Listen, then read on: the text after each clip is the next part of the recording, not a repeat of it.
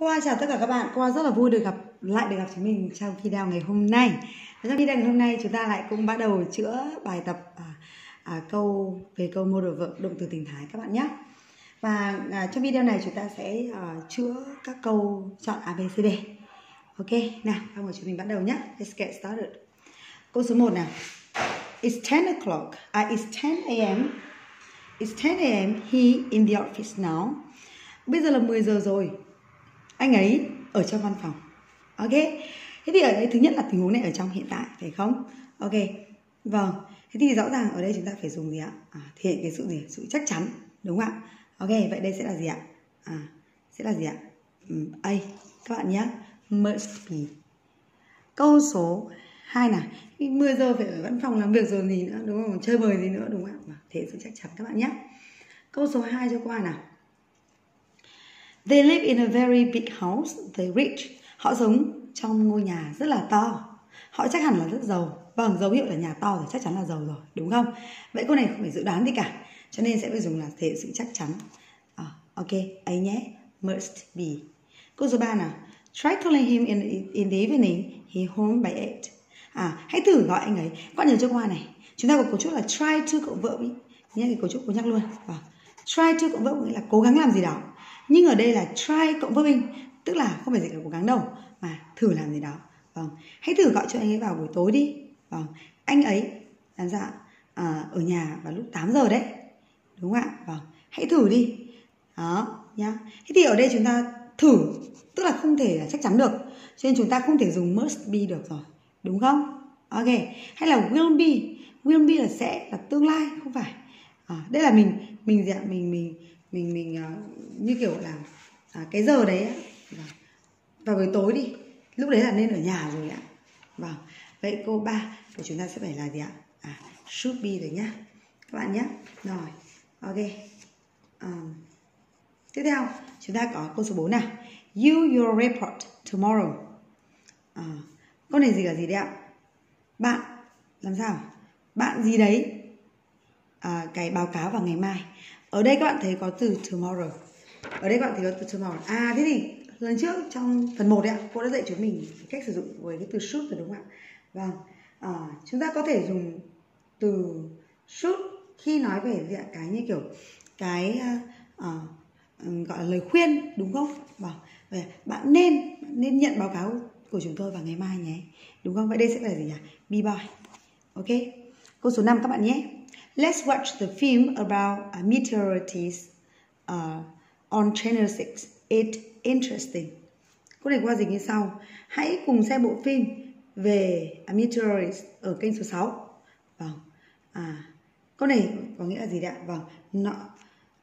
Vậy thì rõ ràng là gì ạ? Nó, nó chắc hẳn là hay, đúng không? Vâng. Vậy câu này của chúng sẽ phải là gì ạ? Be boy, should be. Nhá. Không thể nào là must be được. Nhá. Must là bắt buộc rồi các bạn ạ. Câu 6 các bạn nhé. I can't find my car keys. I them in my office. Tôi không thể nhìn thấy cái uh, ô tô, xe ô tô, à, chìa khóa xe ô tô của tôi đâu cả. Vâng, tôi chắc hẳn là đã quên nó văn phòng rồi. Vâng, hành động mà chúng ta không tìm thấy cái chìa khóa ấy là hành động bây giờ này, đúng không? Những hành động mà mình đã để lại ở văn phòng ấy thì chắc chắn nó đã xảy ra chưa ạ? À, xảy ra rồi. Vậy thì chúng ta sẽ phải dùng modal verb ở với tình huống gì ạ? Past, tình huống ở trong quá khứ đúng không vậy vâng vậy thì không dấu hiệu là không tìm thấy thì chắc hẳn là đã phải đã để nó ở rồi ở cái office rồi đúng không ở văn phòng rồi vâng vậy câu này đáp án sẽ phải là C nhá must have left các bạn nhớ nhá con mời chúng mình làm cho cô Hoa câu số 7 nào There is no one by the name Lisa here. You, Miss Dale. Vâng. Câu này cô Hoa dịch như sau ạ. Vâng. Không có ai mà có tên là Lisa ở đây cả ok? À, vậy thì à, bạn chắc hẳn là đã làm ra. Mister tức là quay nhầm số. Vâng, quay nhầm số điện thoại ạ. Đúng không? Vâng. Vậy câu bảy của chúng ta sẽ phải là gì ạ? Chắc hẳn là đã. Đương nhiên tình huống này cũng trong quá khứ rồi phải không các bạn? Vâng đây sẽ là đi đó nhá.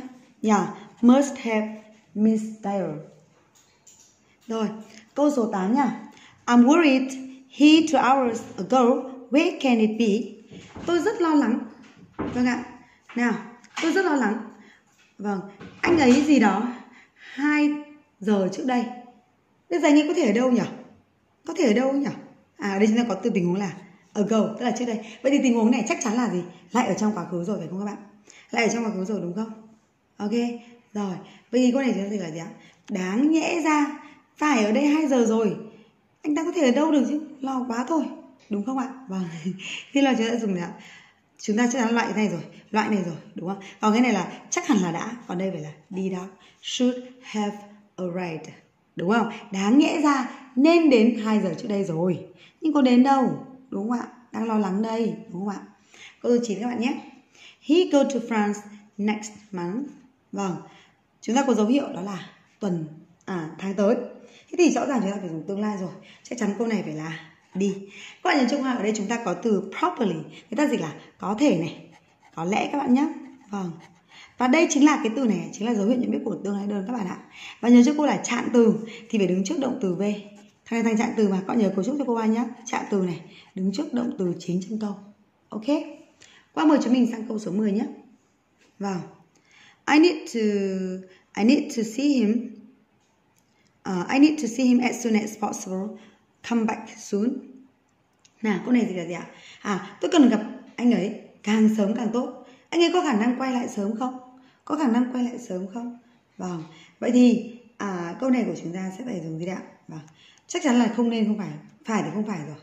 Will will he come back? À, will, tức là anh ấy sẽ quay trở lại sớm không? Thực ra về cái phần này chúng ta dùng tương lai đơn cũng đúng. Nhưng ngày hôm nay trong câu này chúng ta lại có câu trả câu là, is he likely to? Vâng chúng ta có một cấu trúc như sau các bạn ghi cấu trúc của cho khoa nhé, đó là gì ạ? To be likely to verb vâng cấu trúc này người ta dịch là gì ạ? Có khả năng làm gì đó. Có khả năng làm gì đó. Các bạn nhé. Rồi, ok. Rồi, thế thì lúc đó các bạn sẽ là, có khả năng à anh ấy làm sao? Anh ấy có khả năng đến à, quay trở lại sớm được không? Và thì câu này nó sẽ nó chắc chắn hơn các bạn ạ. Vậy các bạn dùng câu này đi cho qua nhé. Ok còn nếu như không có đáp án của mình là đi chúng ta chọn C rất đúng không sai. Không ai bảo chúng ta sai cả. Yên tâm. Ok rồi nào sau đây chúng ta sẽ cùng làm tiếp các bạn nhé. Trò trôi chảy thôi nào. Nào chọn abc các bạn nhé. You look tired. Ate a great party last night bạn trông mệt thế. À, chắc hẳn là một cái bữa tiệc rất là lớn đêm qua phải không ạ? Vâng tình huống này là ở trong quá khứ. Còn hành động bị mệt là ở bây giờ các bạn nhé. Vậy thì cái hành động mà dùng trong quá khứ ấy, động từ tình thái thì chắc chắn thằng này thằng này bỏ rồi đúng không? Và có dấu hiệu là mệt rồi cho nên phải dùng chắc hẳn là đã must have cộng phần thứ hai. Qua mời chúng mình sang câu số 2 nhé.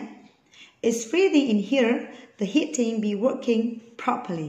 Ở đây chúng ta có từ properly, có nghĩa là một cách hợp lý. Không thì nghĩa với giúp qua nào.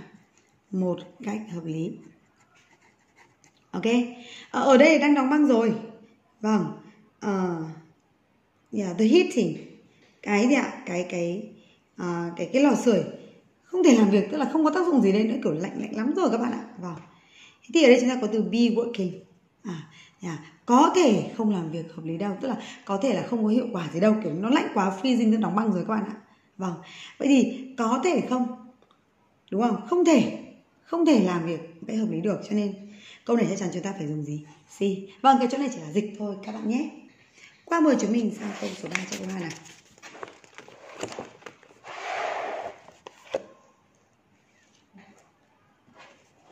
Rồi, qua mời chúng mình làm cho cô câu số 3 nhé. À đây thì cô lại lấy kê chúng mình nào. Đấy. nhìn cho nó phẳng ra đúng không?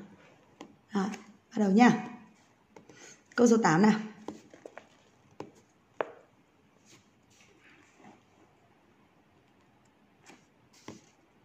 à, câu số 3 nào rồi I've read the book you lent me. What the Lord of the Rings? You've only had it for a week. You cái gì đó finish is yet. Finish có nghĩa là kết thúc ấy các bạn ạ. À. Nào, cả lớp mình ơi, cái phần này chúng ta dịch là gì các bạn ạ? Nào, cô ba nhé. Tôi vừa mới đọc cuốn sách mà bạn cho tôi mượn. Cái gì cơ? Chú để tôi trước nhất đã. À, tôi mới chỉ có nó được một tuần thôi mà. Bạn làm sao ạ? Vâng. Bạn là bạn không thể nào đọc xong nó đâu. Ý là câu là gì? Sao đọc gì mình nhanh thế? đúng không? Vâng. Tôi còn chưa đọc xong này ý, ý là như vậy đúng không? Vâng. Ok đó bạn mới có nó được một tuần mà sao đọc nhanh thế vì đây câu chuyện rất là dài đúng không các bạn nhỉ đúng không? Thế thì đây là gì tình huống này ở trong quá khứ. Các bạn nhá. Vâng tình huống trong quá khứ. Vâng vậy có ba à, tình huống trong quá, quá khứ. Cho nên phải dùng gì ạ? Có thể là đã không hoàn thành nó đúng không? Vậy đây sẽ phải là gì ạ? Đây. các bạn phải dịch nữa cơ các bạn nhé rồi câu dưới cho cô nào?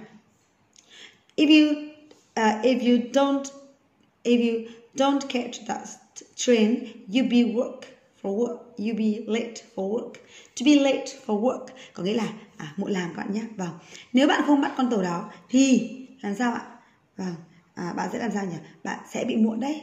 Đúng không? Đây cô được lại mấy bạn? À loại một. Như này. Don't catch là loại một đúng không? Thì đây sẽ là gì? À tương lai đơn đây. Vậy đứa câu này phải là đi đâu? Chắc chắn rồi. Qua mời chúng mình sang câu số 5 nhé. We didn't have much money when I was growing up. We be careful how much we spent. Vâng. Chúng tôi không có nhiều tiền khi mà chúng tôi lớn lên. Vâng. À, khi chúng tôi là trưởng thành lên ạ. Vâng. Chúng tôi cẩn thận. À, chúng tôi chi tiêu bao nhiêu tiền. Đúng không? Rồi. Vậy thì à, chúng ta thấy là tình huống này ở trong quá gì quá khứ bây giờ chỉ nói là chúng tôi phải thôi và cái việc phải là đến từ cái cái cái cái từ chính chúng ta đúng không từ chính cái chủ ngữ này đây chủ ngữ mà đúng không vâng vậy là các bạn sẽ dùng cho cô là từ see chúng ta dùng từ must khi người ta khi người ta người ta khác bắt mình các bạn ạ thì mình dùng must nhé còn have to cũng nghĩa là phải nhưng mà không phải là người khác bắt mình mà mình tự thấy là mình phải làm như vậy đúng không? Nhá rồi should chỉ là nên thôi must là phải thì không phải qua vừa giải thích rồi nhé. Con mời chúng mình làm cho cô qua câu 6 nào. You look like that famous actor doesn't he? Vâng. À, anh ấy à, he looks like anh ta trông giống như một à, nam diễn viên nổi tiếng có phải không? Rồi. Ah. it isn't it isn't very likely it's him but I suppose it be. À, có vẻ như không phải anh ấy nhưng tôi cho rằng tôi cho rằng làm sao? Vâng. Có thể đấy có lẽ đấy đúng không ạ? Vâng. Tức là gì? Câu này có nghĩa là gì ạ? Không tức là cái cái dự đoán này có chắc chắn không các bạn? À không chắc chắn. Thì chắc chắn chúng ta loại mấy thằng này rồi. Vâng vậy đây chỉ có thể là gì? Đi đáp thôi. Vì có dấu hiệu là it isn't very likely. Các bạn nhé. Qua mời chúng mình làm cho cô câu số 7 nào. Do you think I call her then? Well, that's my advice. Bạn nghĩ rằng bạn nghĩ rằng là gì ạ? Tôi nên gọi cho cô ấy không? Ừ, đó là lời khuyên của tôi đấy. À, đây chúng ta có từ advice, có từ lời khuyên. Không phải nghĩ nữa, chắc chắn là từ be rồi. Should là nên rồi. Khuyên người ta chả là should là nên làm gì nữa, còn từ nào nữa mà. Không còn từ nào hơn. câu số 8 nhé. The sky is quite grey today, isn't it? Yes, I think it's probably rain later. Lại có từ probably. Lại có từ probably ở đây. À, thế đương nhiên qua nói ngay từ bài trước rồi. À, đó là gì ạ? Vâng, chúng ta có từ gì đấy ạ? Vâng. Nào, properly là dấu nhận biết của thì tương lai đơn. Vâng, không phải nghĩ nữa. Câu số 8 sẽ là A các bạn nhé. Qua mời chúng mình sang câu số 9 nào. That was very frightening. We died. Ôi cái điều đó thật là sợ hãi. Điều đó thật là sợ hãi. Vâng. Chúng tôi làm sao? À, có, chúng ta có thể chết đấy. Vâng. Thế thì tình huống này ở trong gì? Trong quá khứ. Vậy thằng này lại. Thằng này lại. À chắc hẳn là đã chết. Không được. Thế thì chết thật rồi đúng không? Đây chỉ là dự đoán thôi. Vâng. Vậy câu 9 của nhà sẽ là be boy. Nhá. Có thể chết mất thôi đúng không? Câu số 10 nhá. Tôi không thể nào, I can't find my mobile phone. Tôi không thể nào tìm được cái điện thoại tôi được. À, lần cuối cùng bạn sử dụng nó là khi nào? À, đó là khi mà tôi tôi để quên nó. Ừ, đúng không ạ? Vâng. Thế thì tình huống này ở trong gì? Hiện tại đúng không? Rồi. Ok. Thế thì ở trong câu này nào um, chắc hẳn là là nơi mà tôi để lại nó. Thế cái, cái hành à, cái hành động để lại nó đây là quá khứ rồi đúng không ạ? Vâng. Thì kệ nó thôi, người ta kể lại mà. Thế còn là chắc hẳn là vâng. Bởi vì sao thực tế là đã mất là mất điện thoại rồi, đúng không? Cho nên chúng ta cái hành động mà chắc hẳn là ở cái nơi mà tôi để nó hành động để nó là quá khứ và hành động mà mình chắc chắn đấy thì chúng ta dùng hiện tại bình thường đúng không các bạn? Thì thằng này loại luôn thằng này loại luôn rồi. Đây là không thể đúng không? Thì chắc chỗ này chúng ta phải là đi đó. Vì chúng ta mất đồ chúng ta phải chắc chắn nó ở đâu chứ. Đúng đúng ạ? Có thể không chắc chắn một trăm phần trăm ít nhất phải bảy mươi phần trăm chúng ta mừng tượng nhớ lại được mà. À, khoảng khoảng ở cái chỗ nọ khoảng khoảng chỗ kia. Ok rồi. À, vậy là chúng ta đã chữa được 20 câu trong bài này. Và hẹn gặp lại các bạn thêm một video nữa ở phần động từ tình thái. Ok xin chào hẹn gặp lại. Chúc các bạn một ngày tốt lành nhé. Have a good day everyone.